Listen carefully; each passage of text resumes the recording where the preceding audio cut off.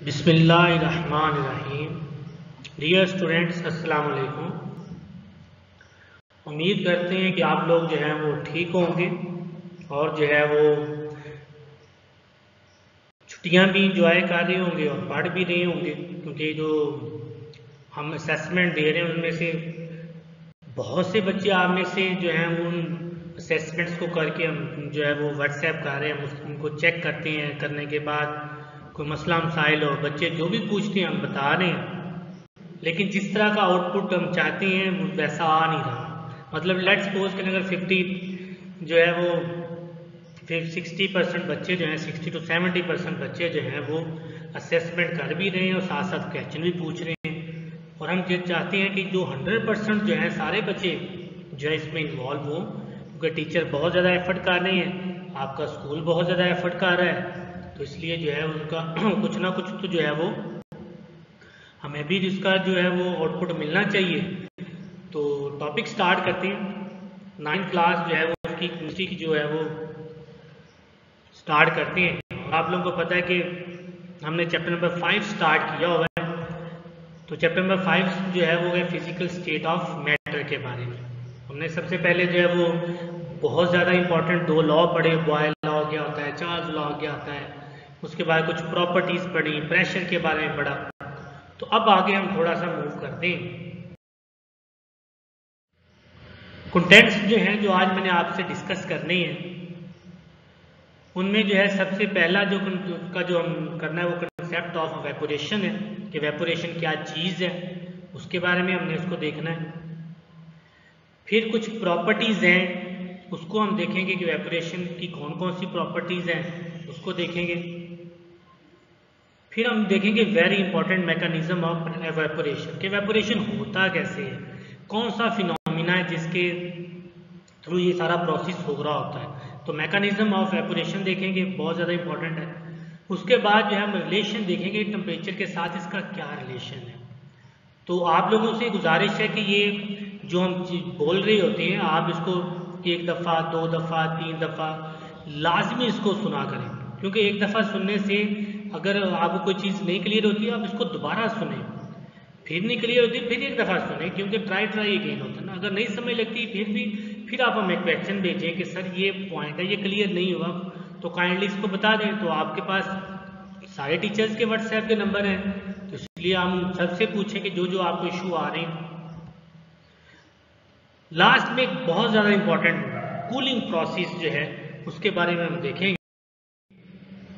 तो स्टार्ट करते हैं कि वेपोरेशन जो है वो क्या? तो सबसे पहले हम इसकी स्टेटमेंट देखते हैं। स्टेटमेंट जो है कुछ इस तरह है कि वेपोरेशन एक ऐसा प्रोसेस होता है जिसमें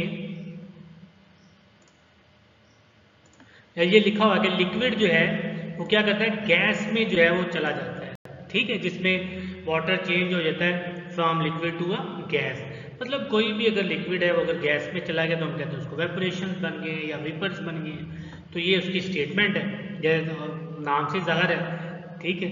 ऐसा प्रोसेस जिसमें जो है लिक्विड किसमें चला जाता है? गैस में चला जाता है। उसको हम क्या कहते हैं? वेपोरेशन कहते हैं।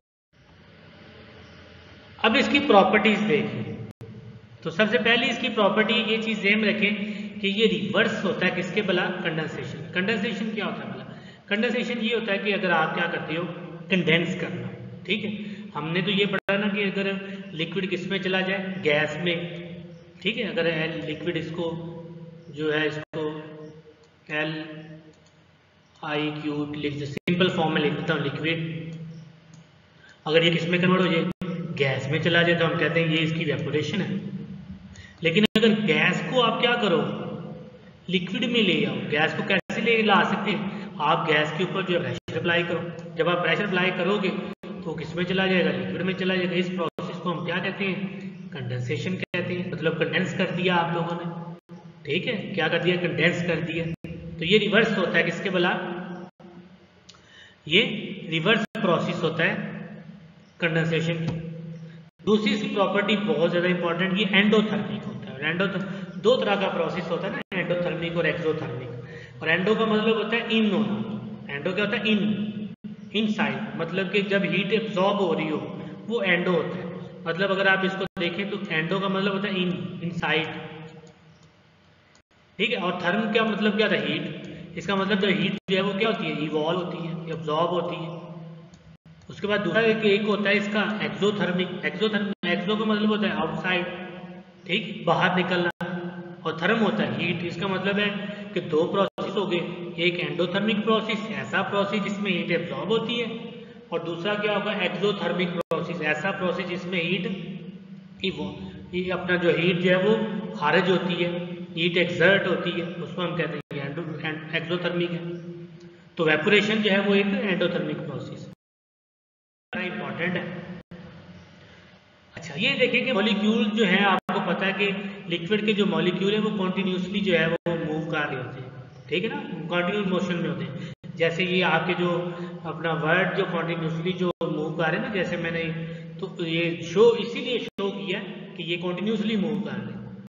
अब देखें इस तरह। और ये कॉन्टिन्यूसली के साथ साथ रैंडम मूव कर रहे थे ना। इनका जो है, और ये चीज़ जहन में रखें। तो जब ये कॉन्टिन्यूसली मूव कर रहे होते हैं तो आपको पता है कि जो है वो, जो अगर एक कंटेनर में लिक्विड पड़ा हुआ है तो वो मॉलिक्यूल्स आपस में क्या करते हैं? कनेटिक एनर्जी लगाते हैं। सपोज़ करें कि अगर ये मेरे पास एक कंटेनर है, इसमें अगर लेट सपोज़ करें ये पड़ा हुआ है पार्टिकल ये पार्टिकल पड़ा हुआ है तो आपस में ये पार्टिकल इसके ऊपर फोर्स लगा रहा होता है और ये वाला पार्टिकल इसके ऊपर फोर्स लगा रहा होता है। तो ये आपस में फोर्स जो है वो लगा रहे होते हैं, इनकी कैनेटिक एनर्जी होती है। और कैनेटिक एनर्जी क्या होती है? जब वो कोई भी चीज़ क्या करती है? मूव करती है। मोशन में होती है, उसको कैनेटिक एनर्जी कहते हैं। तो इसलिए ये जैसे लिखा होगा मॉलिक्यूल जो है मोशन में होते हैं, जब चीज़ मोशन में हो, उस वक्त उसमें कैनेटिक एनर्जी होती है। लेकिन ये सारे मॉलिक्यूल्स में कैनेटिक एनर्जी नहीं होती, क्योंकि कईयों की एनर्जी ज़्यादा होती है, कईयों की कम होती है। जैसे ये देखें मेजोरिटी की जो एनर्जी है वो एवरेज काइनेटिक एनर्जी होती है। मतलब ये समझ लें कि एक जो है वो एवरेज क्वांटिटी होती है, ना कम, ना ज़्यादा। लेकिन कुछ ऐसे पार्टिकल होते हैं जिनकी एनर्जी बहुत ज़्यादा होती है। वो क्यों ज़्यादा होती है? क्योंकि आप लोगों को शायद याद हो या पता हो कि जब हम ये लेट सपोज़ करो ये एक पार्टिकल और दूसरा पार्टिकल ये जब ये पार्टिकल इसके साथ जाकर टकराता है ना तो क्लेयन की वजह से एनर्जी क्या हो जाती है? बढ़ जाती है स्पीड बढ़ जाती है उसकी। जैसे स्नोकर में होता है, शायद आपने जो ये, जो खेला हो या उसमें जो बच्चे खेलते हैं वो मोबाइल वगैरह पे। ठीक है तो उस पर भी देखेंगे उसकी, जैसे आप हिट करते हो तो एनर्जी फ़ौरन जो है वो सारे जो बॉल्स होते हैं, उनकी एनर्जी क्या हो जाती है? बढ़ जाती है।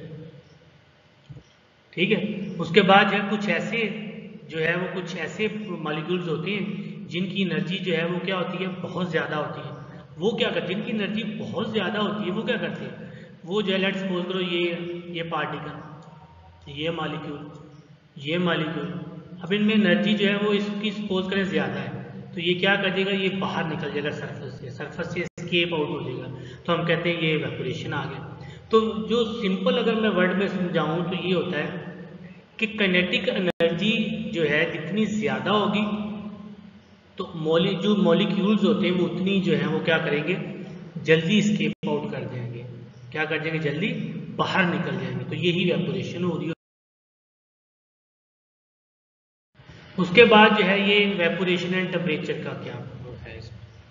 तो ये इसमें लाइन लिखी हुई है ये बेसिकली जो है वेपोरेशन सारे टेम्परेचर पे हो रहा होता है, ये चीज़ जहन रखिएगा आप लोगों ने पढ़ा होगा कि टेम्परेचर जो है, वो डायरेक्टली रिलेशन होता है काइनेटिक एनर्जी का, ये चीज़ है जितना ज़्यादा टेम्परेचर दोगे ना मोलिक्यूल्स की मोशन उतनी ज़्यादा बढ़ती जाएगी और जितनी ज़्यादा मोशन बढ़ेगी वेपोरेशन उतना ज़्यादा होता जाएगा।